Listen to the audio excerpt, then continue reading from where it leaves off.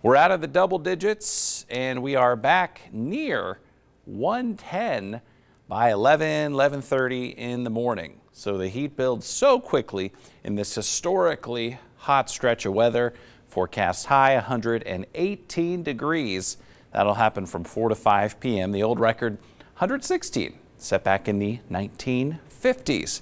Uh, we've got a high of 119 in Mesquite, 121 in Overton. Wow. Uh, 119 in Laughlin, Death Valley 127, Alamo 120, again 118 today in Las Vegas. That's as hot as we were yesterday. Uh, on Friday tomorrow, we're 116 in Las Vegas. Uh, the record tomorrow is 114, so that'll be another day where we set a record high. Uh, we anticipate, as long as these numbers play out, seven days in a row uh, with record highs being tied or broken. Of course, a couple of those days we saw some heat that we've never seen since weather records began back in 1937.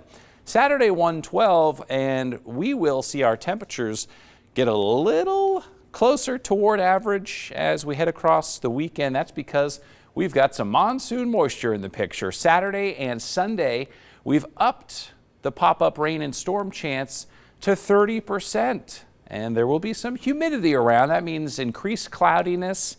Now, 109 Sunday, it's not going to feel great uh, when it's that warm and muggy to boot. Yeah, kind of clammy out there, but we are hopeful for a few scattered downpours Saturday and Sunday.